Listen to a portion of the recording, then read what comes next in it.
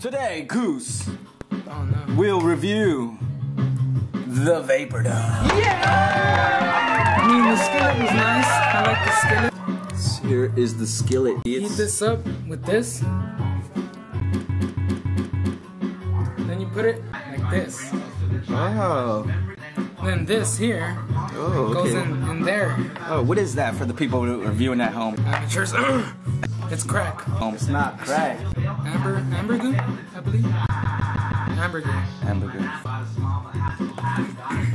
So first, we're gonna try the Vapor Dome.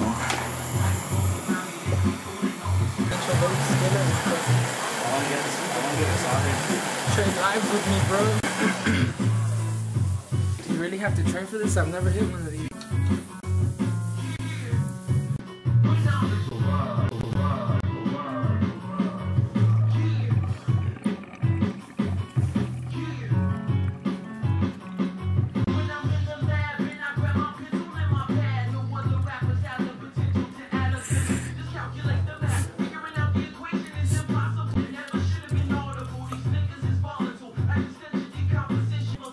Let's, let's take a look at this. the only thing I didn't like is dun dun dun. It's not mine. yeah, but it drips.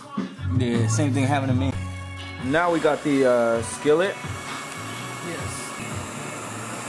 Now heating up the skillet. So you guys can be little. We do it big. Go bigger, go home. Or if you are home, go get a bigger torch. And stay home. That's right, man. Now for the skillet. Ah,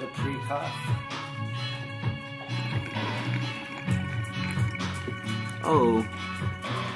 See, the milk is more instantaneous on this.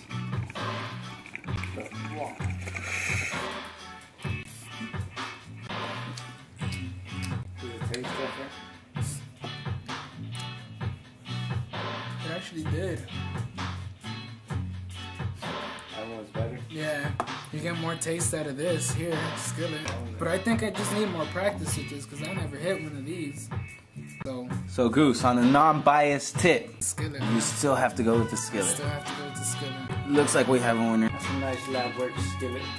An 8.7 out of 10. Yes, a skillet it is. It's a skillet it is. My beady homie too high to fly. I think they get weaker at night. And he's high. And you know they don't like smoke? Yeah, and he's high.